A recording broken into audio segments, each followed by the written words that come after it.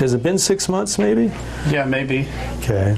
And so with this prosthesis here, you know, we, we, we adapted, we wanted a tighter fit, and so we added some wax to it. And so one thing I wanted to see him do is open your jaw nice and big. Can I get the patient mirror? So I want you to, to look at this, This and one see. feels better. Feels This better. feels tighter. Do you have Alright. the ear hole? My name is Master Sergeant Todd Nelson. Uh, born and raised in Colorado.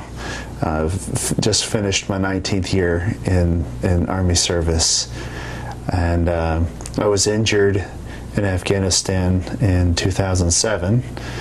When, when I woke up from um, the brain injury uh, that I originally sustained, um, uh, they offered me carte blanche on whatever it is that, that I wanted done.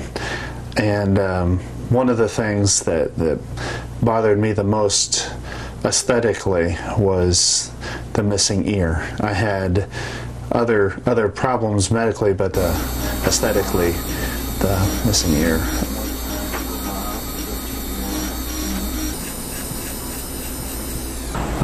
The state of the art uh, in facial prosthetics today is uh, to incorporate uh, to incorporate implants, craniofacial implants that can be placed into bone, uh, where the prosthesis can be then attached using magnets or using clips and those kind of things. we needed to do something. And then they sweetened the pot saying that we could do some high speed magnets or something in there. And I thought, oh, that sounds just like fun, you know?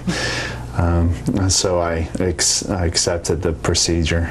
I, just think, noticed um, that it's it's not clicking on there very good. But it, it's it's got a lot of space at the top and the bottom. Right. more so than the chances other are the, the excess material's in the middle somewhere. right. The sound is a little different. It's it's not muffled, but um, because the the passage is open, but it's probably the way it was supposed to sound all along, um, which is just different. So I, I I don't complain about the fact that this is the way it was supposed to be all along.